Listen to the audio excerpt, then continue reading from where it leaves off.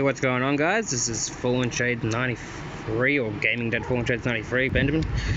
As you can see on the page it's got add Fallen Shades 93 here. So what we're doing here is just basically giving you a video to show you that I have now set up a Twitch page and a Twitter. I've now got the Twitter page here so feel free to come over here and have a look at this. And now we're going to go over to my Twitch. Just give me a sec and ignore the Clash of Clans in the background, of course. But yeah, so this here is my actual Twitch page. So look for the Deadpool skin and the background. Hold on, I want slide. Like the background is the Victory Royale from Fortnite. I play all sorts of games. And you can choose on there.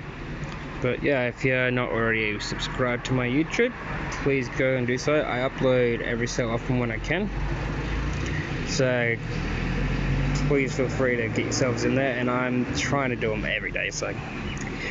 I would really appreciate a like and a subscribe if you're not subscribed or liked this channel or a follow over on Twitch would be great.